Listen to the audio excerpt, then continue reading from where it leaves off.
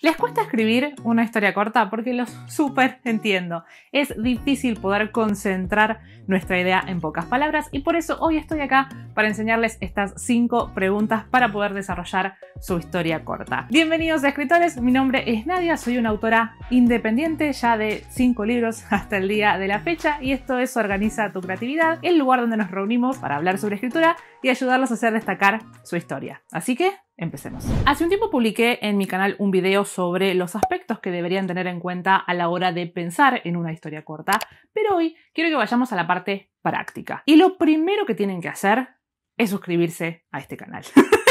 lo que tienen que hacer es pensar en una situación concreta. Cuando digo concreta, es concreta una situación sencilla, particular, concreta. Esta historia corta no tiene que tener muchos personajes, de hecho yo recomiendo que tengan hasta tres. De hecho, uno o dos sería lo recomendable, no tiene que tener subtramas y debería tener una sensación de final. ¿Qué quiero decir con esto? Porque puede ser que tenga un final cerrado o un final abierto, pero la idea es que no piensen esta historia corta como parte de una saga de libros. De todas formas voy a hacer un disclaimer porque pueden llegar a ser la prueba o pueden llegar a jugar con hacer una forma de prólogo a su novela larga y usarla de alguna forma de introducción a su historia. Pero lo que quiero decir es que tiene que tener una sensación de que es una historia que empieza y que termina. Creo que lo más difícil de esta metodología es tener que concentrarnos en una situación en particular. Y lo digo porque me pasó con los estudiantes que se anotaron en mi workshop sobre cómo escribir una historia corta y también lo noto en los mensajes que me llegan ya sea por YouTube o por Instagram, porque cuando yo les hablo de una historia corta y de una situación en particular, les pasa algo bastante gracioso. Ojo, me río con ustedes. Pero resulta que cuando ustedes tienen una novela larga, la consulta o el comentario es no sé cómo alargarla, no sé cómo rellenarla, que eso es un tema entero para otro video, pero cuando tienen que escribir una historia corta, resulta que se tienen que ir por las ramas. Es como, ¿y cómo hago para resumirlo en tan pocas palabras? Entonces, ¿a qué me refiero yo cuando digo una situación en concreto? Vamos a poner el ejemplo. El día que Victoria se separó de su novio. Y eso es todo lo que necesito. Esa es la situación concreta. Muy bien, entonces, ¿cuáles son estas cinco preguntas para desarrollar la historia corta? La primera pregunta dice, ¿qué sucederá al principio? La segunda es, ¿qué quiere el protagonista? La tercera, ¿qué va a pasar para conseguirlo? La cuarta, ¿cuáles serán los obstáculos a los que deberá enfrentarse? Y por último, qué es lo que sucede al final de la historia. Tengan presente que una historia corta oscila más o menos entre las 7.000 y las 15.000 palabras.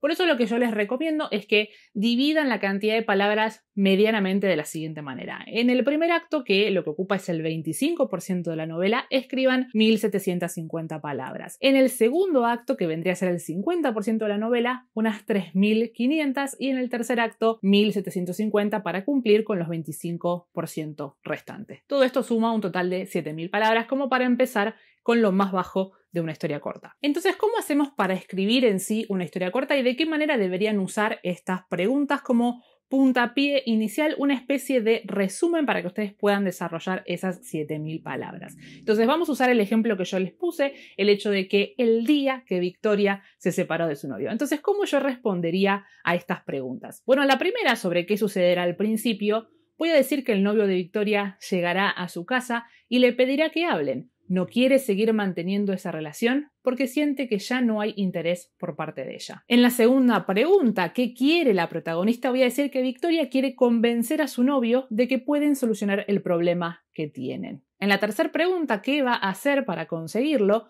Victoria va a explicarle que su cabeza está enfocada en un problema laboral que puede ocasionarle la pérdida del mismo, que esa es la razón por la cual no le están prestando atención a la pareja, pero que está dispuesta a evaluar sus actitudes. La cuarta pregunta sobre cuáles serían los obstáculos a los que debería enfrentarse, su novio no quiere seguir ocupando un segundo lugar en su vida y le reprocha que no es la primera vez que le sucede. Antes había sido un trabajo para la universidad, para la cual también tuvo que dedicarse más del tiempo normalmente necesario.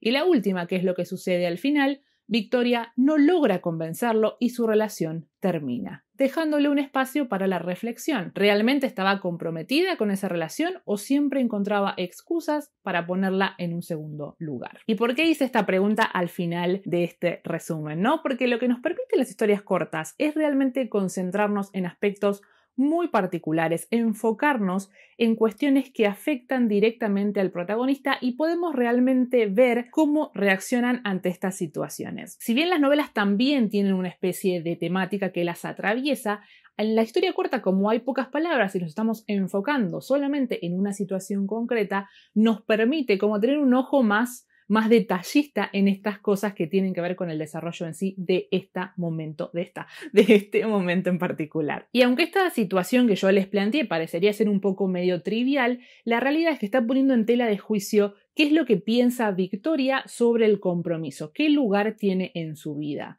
Digamos, ¿estamos hablando del compromiso en general o es esta persona en particular la que no le generaba interés? Tal vez Victoria creía que amaba a esta persona o ya simplemente estaba acostumbrada a tenerla en su vida.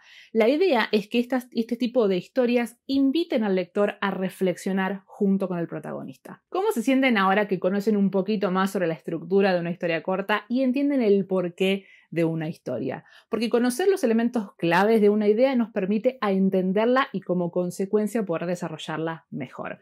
Por eso quiero invitarlos a descargar un ebook gratuito que preparé con las tres claves de una historia y cómo poder resumirla en pocas palabras a partir de ella. Así que si quieren descargarlo, pueden usar el link que está en la descripción. Así que escritores, me encantaría que me contaran en la parte de los comentarios qué les pareció este video, si hay alguna historia corta que les está rondando por la cabeza y qué es lo que quieren hacer con ella. Será hasta una próxima vez, escritores. Feliz escritura.